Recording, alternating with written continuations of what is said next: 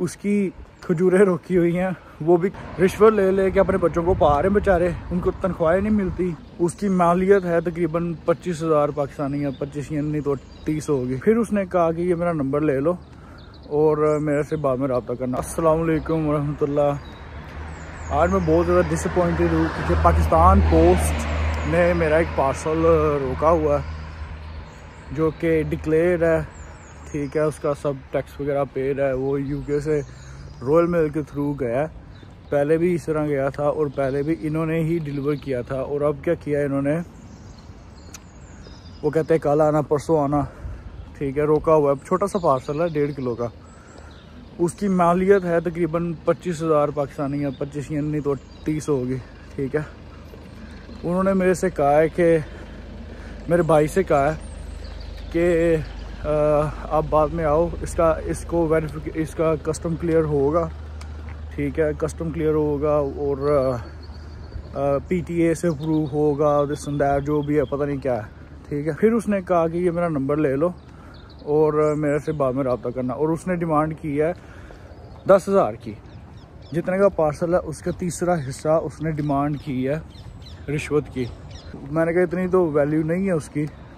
इतना तो आ, हमें तो हमें भी नहीं बचेगा इतना ज़्यादा।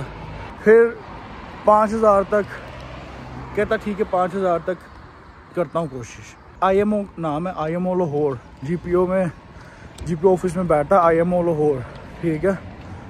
और ये कस्टम ऑफिसर है। रिश्वत ले ले के अपने बच्चों को पा रहे हैं बेचारे। उनको तनख्वाहें नहीं मिलती ठीक है?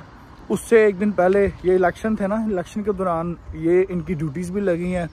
जो इनके पेड डेज़ हैं, वो इलेक्शन में भी इनको बोनसेस मिलेंगे ऑफ़ कोर्स मिलेंगे। तो हर चीज़ पे ये पैसे के ऊपर चल रहे हैं। इनको जॉब्स की ज़रूरत नहीं, इनको कमीशन और रिश्वत की ज़रूरत है, ठीक है? मैंने उनको कहा है कि मेरे पास एक लेटर है, मैं मैंने डिक्लेयर किया हुआ है आइटम को डिक्लेयर किया है फिर रॉयल मेल अब रॉयल मेल पाकिस्तान पोस्ट की तरह तो नहीं है। वो डिक्लेयर किया है तो फिर मेरा पार्सल निकला है, यहाँ से, ठीक है?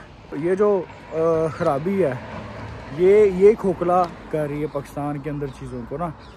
दूसरे नंबर पे मेरे साथ एक मेरे भाई ने बताया कि एक और पार्सल है।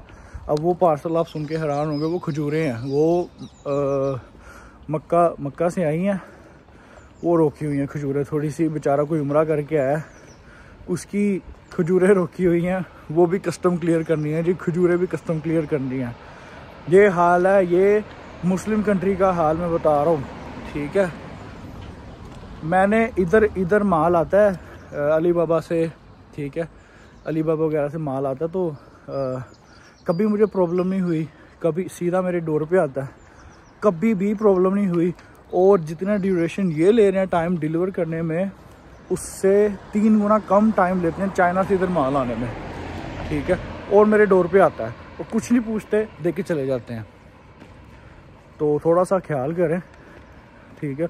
अगर कारोबार नहीं करेंगे या कोई जो बिज़नेस हम करना चाह रहे हैं, जैसे पाकिस्तान की काफ़ी ज़्यादा वहाँ में उसको अकोमोडेट हम कर रहे हैं, वो नहीं करेंगे तो फिर आगे बढ़ने का तो सोचे भी ना। फिर लोग वीज़े लगवाएँगे और बाहर ही निकलेंगे। अपना ख्याल रखें, अगली वीडियो में मिलते हैं, अल्लाह हाफ़